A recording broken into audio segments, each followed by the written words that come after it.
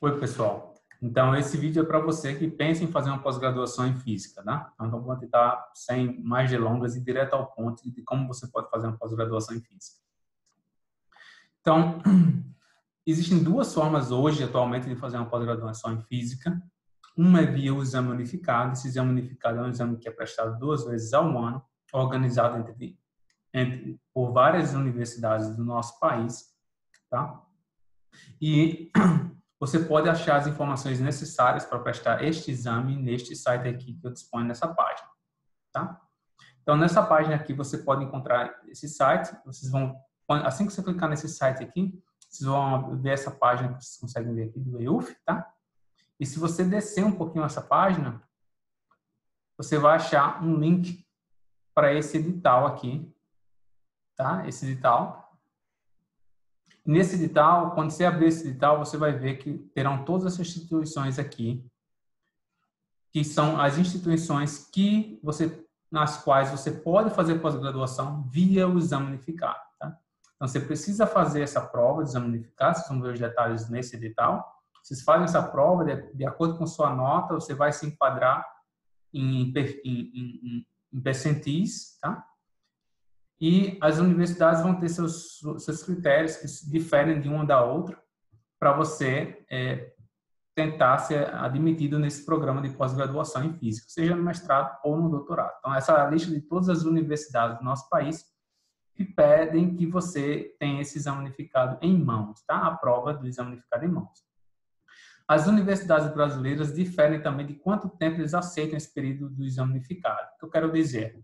Vamos supor que você fez a prova agora em, no meio do ano e você quer entrar na pós-graduação em março do ano que vem. Então você pode usar. Tá? Esse é o cenário ideal. Né?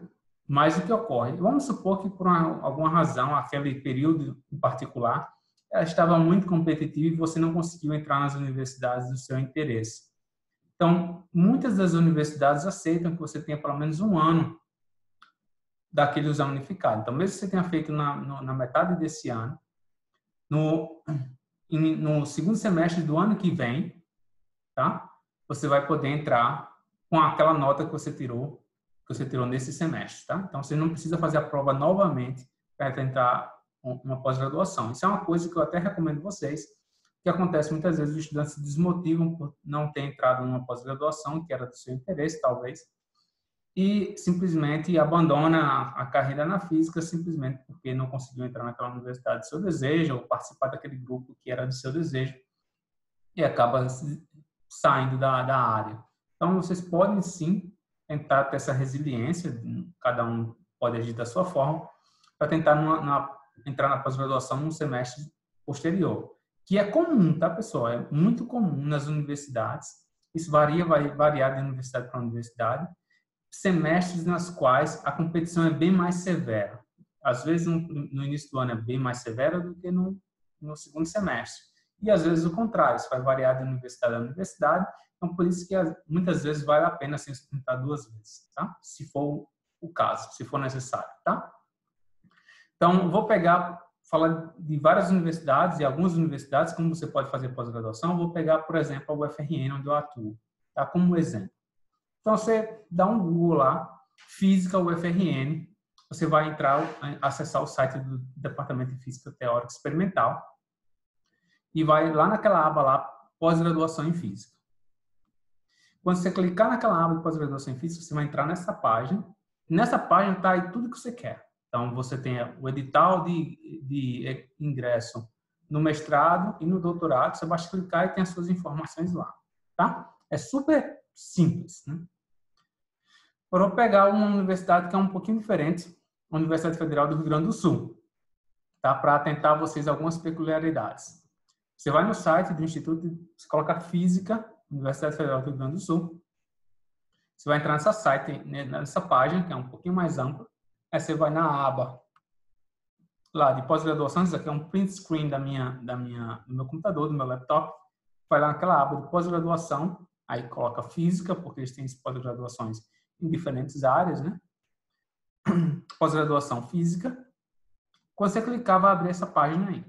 Nesta página, pessoal, vocês podem perceber aqui nessa linha, nessa coluna do doutorado, que você tem ingresso em diferentes épocas do ano, em janeiro, janeiro de 2020, março de 2020, abril de 2020, maio de 2020, agosto de 2020. Então, é diferente de, da grande maioria das universidades do nosso país, onde esses ingressos são semestrais. Na Universidade Federal do Rio Grande do Sul, uma universidade imensa, né? muito grande, já visitei, tive o prazer de visitar. Você tem várias chamadas, então você tem que estar atento a isso. Então, você, estudante que não é do Rio Grande do Sul, quem é de lá, já conhece o sistema, mas quem não é, acha que se você não passou em janeiro, já era a sua chance, ter que esperar seis meses, e não necessariamente isso é verdade, tá? Uma das possibilidades é lá. E é uma ótima instituição. E atento a vocês outra coisa que é comum não só na Universidade Federal do Rio Grande do Sul, mas, mas a diversas outras universidades do nosso país, principalmente as, as universidades que têm um nível de pós-graduação alto perante a CAPES, tá? Talvez vocês que quem já vive nesse mundo, isso parece super trivial, mas eu vou falar para aqueles que não, talvez nunca pararam para pensar. As pós-graduações nas nossas universidades são ranqueadas perante a CAPES. Tem pós-graduação nível 5, quando é, você já possa, pode ter um, um doutorado bom. Nível 5, 6 e 7. Então, o 5, 6 e 7, tem o 4 também, né? Mas 4, 5, 6 e 7. Mas os, essas universidades que normalmente têm nível 6 e 7, perante a CAPES de pós-graduação, tem um número de bolsas disponíveis nessa pós-graduação mais elevado. Então, o que ocorre às vezes, não sempre, às vezes, é um edital extraordinário. Vocês vão ver aqui onde eu destaquei para vocês uma coisa chamada edital extraordinário de mestrado, fluxo contínuo. O que significa isso? Significa que houve uma seleção, né, naqueles cortes lá, vamos supor que a universidade, uma Universidade Federal do Rio Grande do Sul, exige exame unificado. Aí vamos supor que a, a nota mínima que você entrar no exame unificado é 3,5. Entrou abaixo de 3,5, está fora. O que ocorre? Você tem 10 bolsas, vamos supor, disponíveis para o mestrado, mas desses, não tinham 10 candidatos inscritos para o mestrado, competindo para o mestrado, que tinham nota superior a 3,5. O que vai ocorrer? A instituição, a pós-graduação, vai ficar com bolsas sobrando. Aí o que, que ocorre? Faz um novo edital extraordinário, talvez para chamar a atenção daquele estudante que tinha uma nota superior, né, para tentar lá, talvez, vamos supor, o Farinaldo aqui está tentando, não, eu não apliquei para a Universidade Federal do Rio Grande do Sul, eu como estudante, mas eu vejo esse edital extraordinário de mestrado e resolvo agora aplicar, uma vez que eu não fui selecionado nas universidades que eu não queria.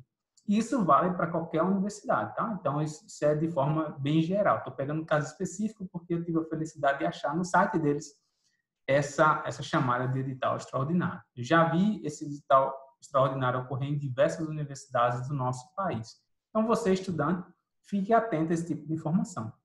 Dá trabalho? Dá trabalho. Mas, bem, é a sua carreira que está em jogo, é a sua bolsa que vai te sustentar, te, não te sustentar essa é a palavra certa, vai te auxiliar a se manter aí por um bom período. Então, cabe a você olhar esse tipo de coisa. Tá? Agora eu vou pegar outro exemplo, a Universidade Federal do Ceará. Na Universidade Federal do Ceará, você vai de novo, Física, Universidade Federal do Ceará, tá? Essa universidade em particular não adota o exame unificado, tá? Então, isso foi por isso também porque eu quis pegar esse exemplo, para vocês poderem distinguir as outras universidades que eu peguei, elas adotam o exame unificado, tá? a Universidade Federal do Ceará não. Como é que eu sei disso?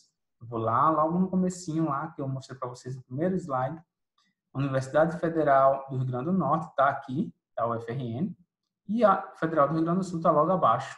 Todas as duas estão, exigem o exame unificado. A Universidade Federal do Ceará não está naquela lista. Então, você vai Universidade Federal do Ceará, caso você esteja interessado, acesse o site da pós-graduação em Física. Quando você entrar no site da pós-graduação em Física, você vai dar de cara com este edital aí. E aí já vai estar já os, os documentos necessários. Então, nesse caso em particular do Federal Ceará, eu vou abrir esse edital para mostrar para vocês qual a informação, o que é que é preciso para entrar na pós-graduação.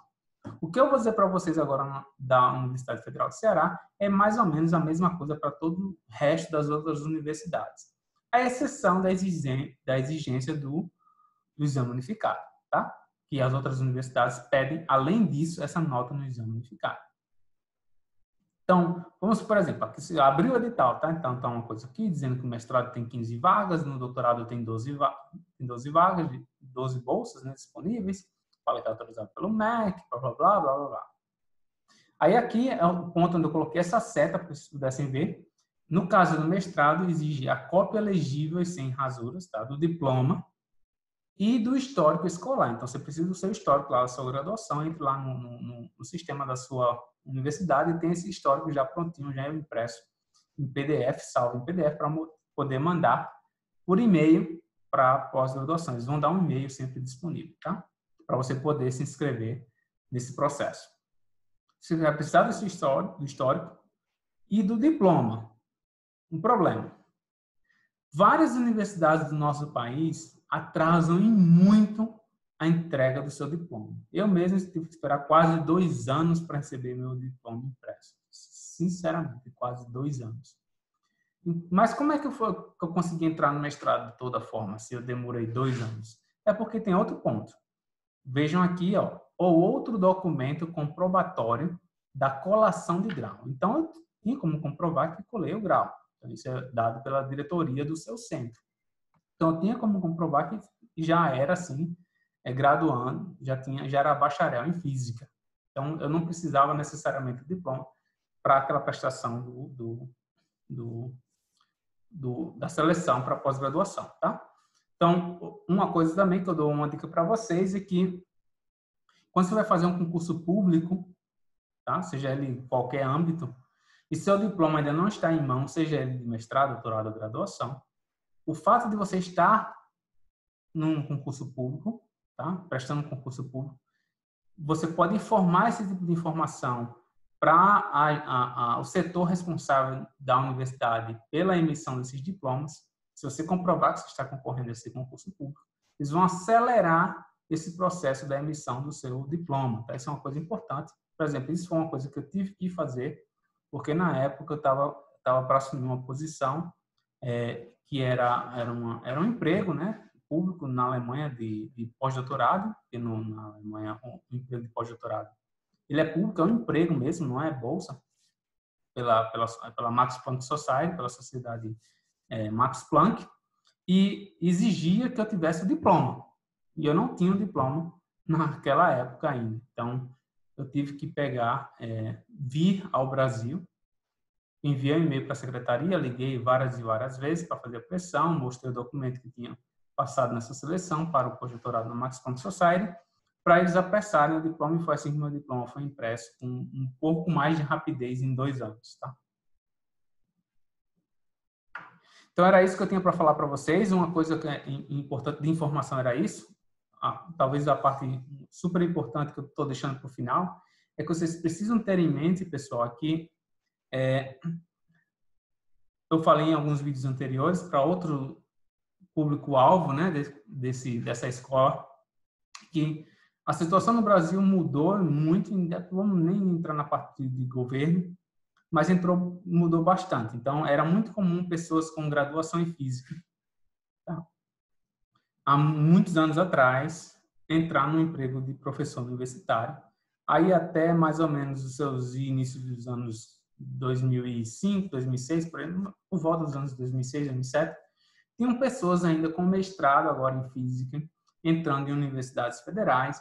Eu vivenciei essa época, tinha colegas meus de, de, de sala, né, na, na pós-graduação, eu estava entrando no mestrado, eles estavam terminando o mestrado, e já estavam terminando o mestrado para assumir uma posição numa universidade federal. Uma universidade federal, não era um instituto, uma universidade federal, para ser professor universitário.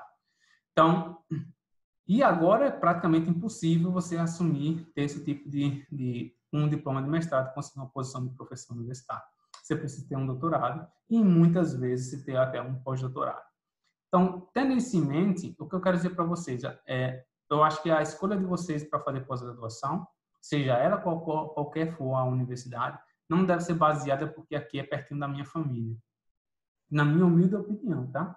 até porque a competitividade está tá grande agora, então esse tipo de escolha não deve ser aquela que vai governar, deve ser prioridade na sua carreira científica. Né?